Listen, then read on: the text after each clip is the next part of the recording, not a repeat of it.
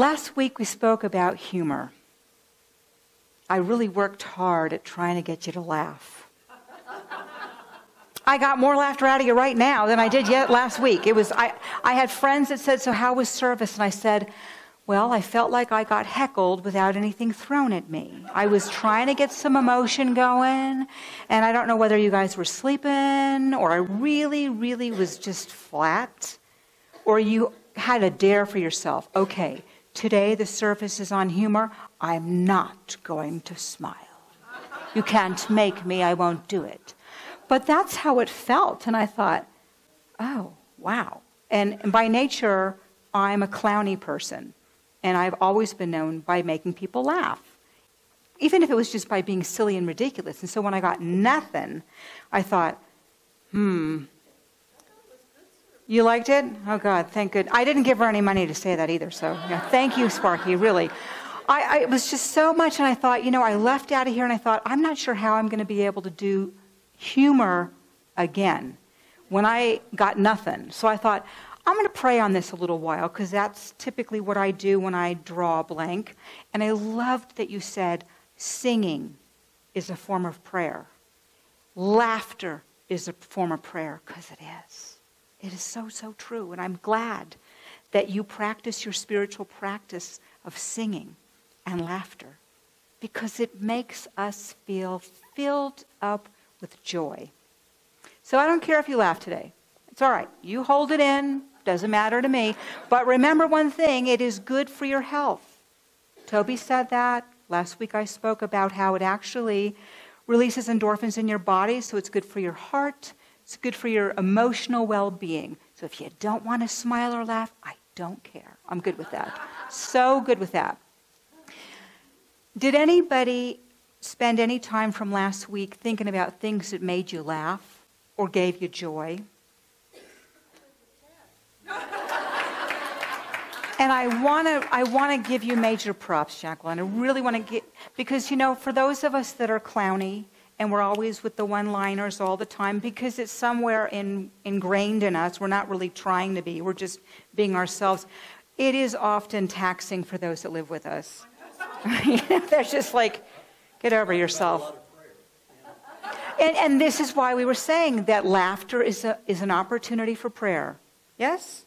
Because when people are doing things that they think are funny and you're not thinking it's funny, prayer is the only thing you can, can do without doing the kabong on them to get them to be quiet. Um, I'm going to just say this briefly because I have to. We're looking at things that are laughter and funny and opportunities for joy and then prayer was brought up.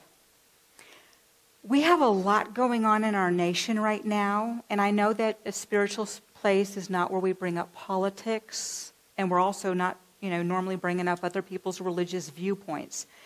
But when I look at how much negativity and hate's going on right now, I'm going to ask you all, rather than getting on this snarky bandwagon with everyone else about what's going on, with politic temperature, as well as certain states choosing to do certain things that are a little less than loving and kind and taking us back about 70 years in time, that you take it as a moment of prayer. Prayer that this will not be the truth. Prayer that this is not the truth. Because if we feed into that negativity and that hostility, we're just helping the situation. And I know it's really easy to want to just go in there and, for those of us that are Facebook fans, start snarking away. But the truth is, that's not going to create anything that's positive, and it's not going to solve that problem. So, prayers that it's all squashed as far as any forms of negativity and any forms of berating or not being okay with other people that are different than you. I've been watching on the ministers' listserv a huge amount of stuff that's coming up around ministers saying, for instance, our next convention next year is supposed to be in Nashville. And right now there's a slight boycott starting. I'm watching the wave. Good chance that the annual conference won't be in Nashville because right now with what's going on in the state of Tennessee. In our spiritual practice, we don't believe in breeding hate or excluding people.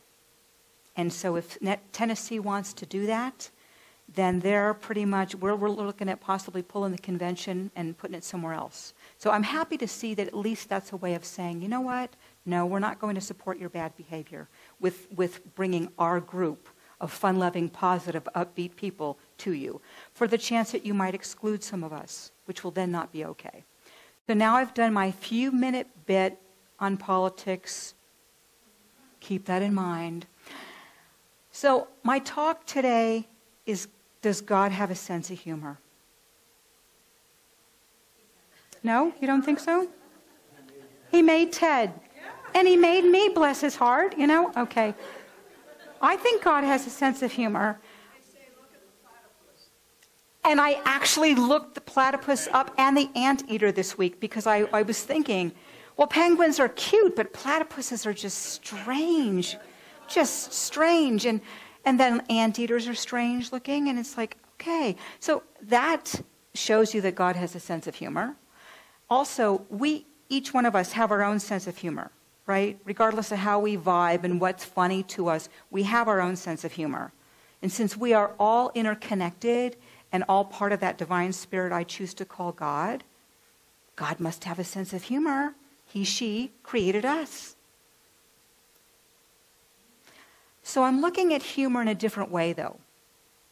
Because God, spirit, universal source, energy, whatever you're comfortable with using, has created us with the ability to do anything we want to do, including accept our good.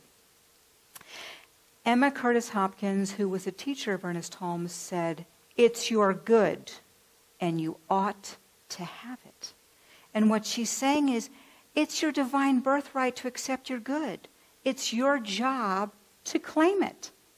And so many of us, maybe not you, I often get dug in. I have an idea in my mind. I think it's a brilliant idea. And I'm certain it's the only idea. And so I go about it doing a thing with this idea. And the idea is not working. Rather than being open to another idea, I either get frustrated and give up, get frustrated, stomp off, or wind up not reaching my potential of something that was good that I wanted to have. Now, think about this for yourself. Pick a situation for yourself where there might have been a time where you had this thought and you were running with it and it wasn't working. And then something else out of left field, completely different than you would have wrapped your head around, appears and winds up making the thing you were trying to implement not only fabulous, but so much more grand than you could have imagined. You have two choices rejoice in the fact that Spirit, God, chose to know you so well that knew something greater than what you were being able to think about and just put it out there for you. And you could be grateful about that, or you could be snarky about the fact that it wasn't your idea. It was your idea. You were just not willing to be open to seeing the idea. So I look at these things as God having a sense of humor you know, you're fighting and you're, and you're struggling and you're trying to make something happen, and like a five year old comes over and does the thing for you in two seconds, and you're just standing there like, what? I now take these moments where I want to say, Really? Are you kidding me? Really? And say, God has a sense of humor. Got me out of uh, my own bloated nothingness, you know, got me out of my way has to be the only way. And I'm always looking at situations in my life where I am not opened to another perspective or point of view. This doesn't happen for any of you. I'm certain of that. Uh, right? And that's why I'm telling you. So it's a perfect example to not let it happen for you. And I'll I'll just be upset. It's not working, it's not working. And then I get to drop into prayer and say, I'm open to receiving my good. I'm open to receiving something far greater than I can imagine. Because I know you got a plan bigger than I can figure out. So let me get out of my way and you bring it on. So that way I get something even grander. And I want to tell you a little story. I love to tell stories. We love to tell stories, yeah. It makes us laugh. And most of the time, I figure if I can crack myself up, that's okay. Um, this isn't a funny story. It's one of those, again, oh my God, God has a sense of humor stories. I have this behavior, it's not me, it is a behavior, that every three years I get an itch to get a new car. Nothing is wrong with the car. I just want a new car. And it's not like a luxury car, and it's not a sports car or a fancy car, but it's, I want a new car. And oftentimes, with the finances, I'm upside down in my leasing or my, my loan, and so I'm bundling it up onto the next car. So it's clearly not serving my highest good to keep getting new cars. But I had to start asking, what's that about with you that you need to constantly have a new car? I don't know too many women who have a car thing. It's usually more of a guy thing. But, but I, I had this. And so it was, um, it was a couple of years ago, and it was around beginning, beginning of fall. I started looking around at cars. And I thought, ah, here we go again with the cars. And I'm trying to think of what car I want. Now, as I've gotten older, the criteria shifted. First of all, it has to have some lumbar support because I got to have back support. Okay?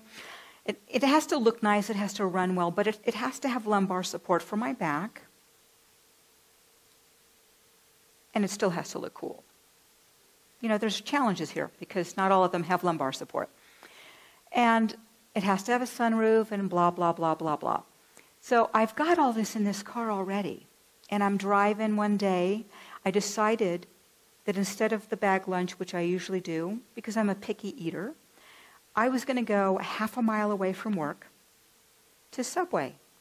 I was going to get a salad. I'm driving. Just got the blinker on to pull into Subway's um, driveway. Car comes and smashes my back end, spins me in a circle, and I'm just sitting there, full on whiplashy, just sitting there.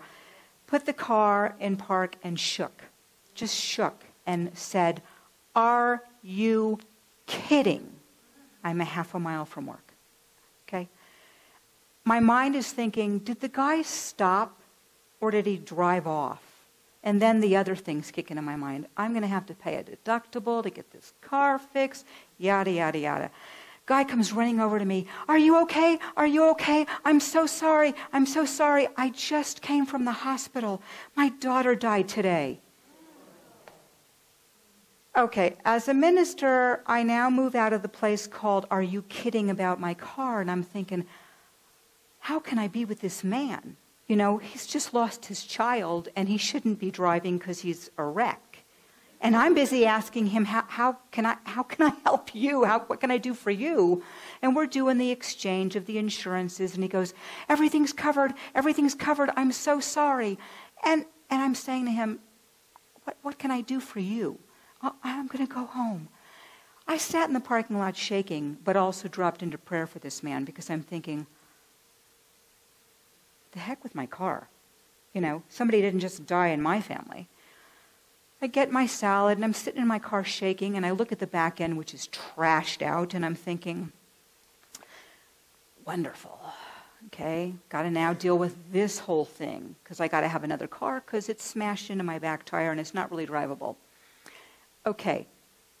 Good news, I get a rent a car. Good news, I don't have a deductible. Good news, everything is great. It's during the holiday season, three weeks go by, I've got to rent a car. All right.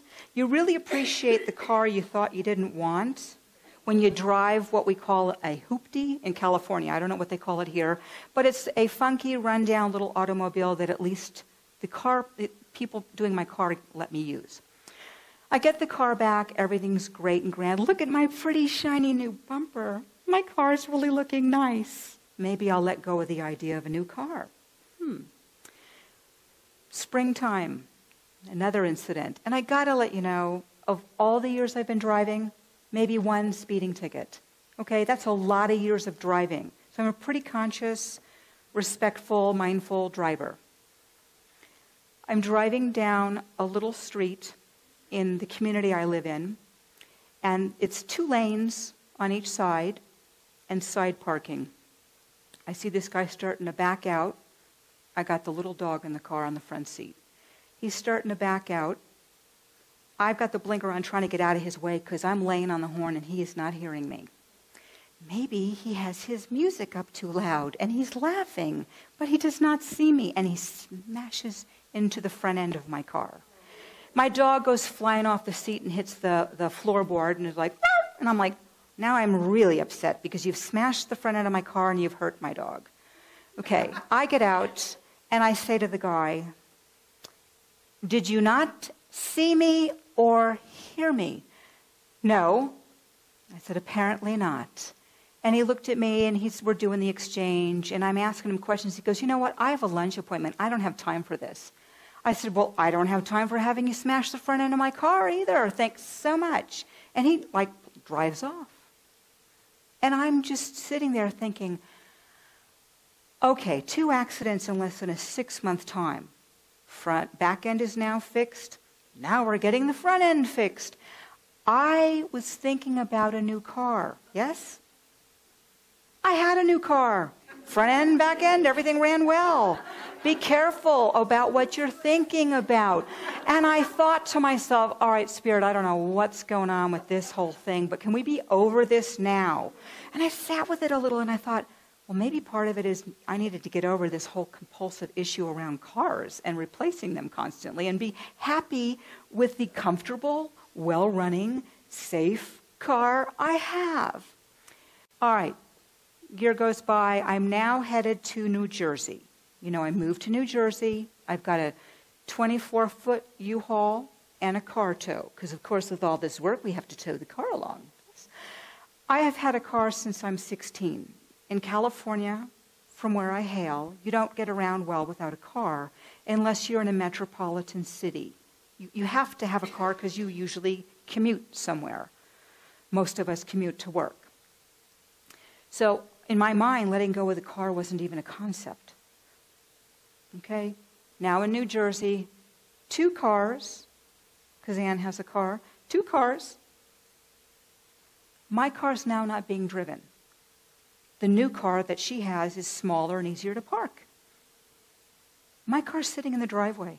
Once a week, we turn it on, drive it around the block to keep the engine okay. And after two months of making car payment on a car I'm not driving, I'm thinking, this doesn't make sense. And then I reflected on all I went through with this ridiculous car, including driving it across country. And now I'm thinking, I'm going to sell the car. But the beautiful thing is, it sold in one day on Craigslist because the car was in pristine condition. So I just look at things and I say to myself, God has a sense of humor. What divine spirit would do to get me to see how some of my behavior is super ridiculous is really very funny. So, no, it's not a ha ha ha funny thing. It's an ironic thing. It's how many things do we do in our life that we get attached to, we get dug into. It has to be this way or this way or this way. And in fact, it's not for our well being, it's not for our highest good. We're just attached to our own little way of how things are supposed to look. So, this is partly why laugh therapy to me is crucial. The more I'm able to laugh, at myself, at my ridiculous behavior sometimes, the more I can make light and the more I can stop myself from getting rigid about things. Spirit, God wants us to have the best, wants us to have the best. And we get in our own way of having it. We do. We wish for something and we pray for something, and it has to look exactly like this. What if it was better? What if you got a gift and it didn't have shiny paper on it, but the gift was fabulous? Wouldn't you be excited? Maybe some of you would just prefer to have the box with pretty paper. I don't know. Sometimes that's nice. But I just said to myself, okay, these are all little things where God is showing me God has a sense of humor by my unwillingness to be in the flow, by my unwillingness to be flexible and accept my own good. That's not the truth. That's not what I want to have happen. So I'm going to share one little thing with you that was passed on to me from my mom. My mother moved to Calgary, Alberta, Canada, and spent 10 years there. She's a life coach, and she was working with the Sarcee Tribe 7. Chief Roy Whitney was the person she worked with with the elders. And he had shared this story with her, which she reminded me of. Spirit wants us to have everything. And Spirit gets so frustrated that we are on our path to goodness and greatness, doing our thing, and we're excited, and we're right up on it, and we listen to someone else's point of view. Or we listen to someone else's judgment. And all of a sudden, we're deflated, and we don't proceed to the thing that's given us the most joy because we're more concerned about the person's feedback that they want to give us. Maybe never happened to you at all, has happened to me. And afterwards, I think, well, what was that about? That I would allow somebody else to, you know, squelch my own good here. But Spirit wants us to have everything. And I believe that if we, many of us don't believe that God is up in the sky looking down at us, because we believe that God is all around us, in and through absolutely everything about us. But if God, in whatever gender preference you prefer, was sitting there watching us, I'm certain it would be huge laughter. Oh my God, look at that. I, I gave them this thing, they walked right past it. I gave them that thing, they're whining, they don't have the thing, it's right in front of them. I'm certain God would be falling out laughing, saying, Man, oh man, look at that. And they keep whining about what they want to have, and I'm giving it to them, and they're not seeing it because the wrapping looks different. That's why I say sometimes forfeit the wrapping. Just have the gift, don't worry about it. So creator, which in Native American culture, creator is God. Creator gathers, in, is in the forest, gathers all the animals. All the animals. And says, I've got this great thing I want to give to man. But it's so amazing, but I want to hide it. And the eagle says, Creator, Give it to me, and I'll take it to the highest of highs. No one will ever be able to find it. Owl says, No, no, Creator, give it to me. I have this nice wingspan. I'll tuck it in my wing. They'll not find it there. Mole says, Father, great Father, give it to me, and I'll go and bury it as deep as I possibly can in the ground, and they'll never, never find it. The Creator thought about it for a moment thanked every one of the animals for their support and their ideas and said, Nope, I have a great idea. I'll hide the gift within man. He'll never think to look there. right? Right? It is inside of us. It is inside of us. Who we are, the gifts that we are, the joy that we are, that we share, we often hide inside of us because it's a little scary sometimes. It's a little vulnerable sometimes to share it. So we keep our magical gifts and talents to ourselves. Well, first of all, that's selfish. And second of all, it is also our joy and our good pleasure to give out the gifts that we have to share with others as they share their gifts with us. It's part of the giving and receiving thing. I give you and share with you my gifts and talents. You give and share with me your gifts and talents. And we call that communication. We call that community. And I'm sure you've heard the expression a long time ago no man is an island, or it takes a village to raise a child. Well, it takes a village to keep a community going in consciousness in general. And that's why we all gather together.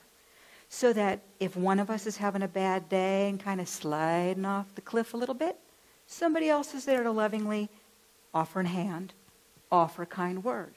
We take classes and things in order to keep our minds open, receptive, and growing. And we then build friendship with people that have like mind life, like mind, meaning a positive way of viewing things, a happy way of being. And so this is why I wanted to just talk about God having a sense of humor.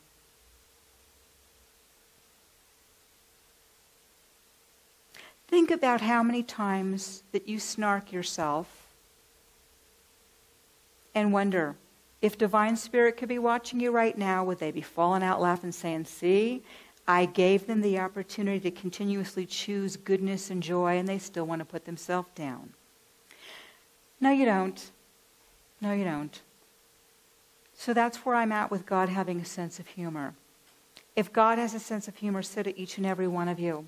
And I want you to find ways to laugh because it's good for you and it's part of your spiritual practice. Let's take a moment just to go inward and be still. And imagine yourself at the funeral at the front row laughing.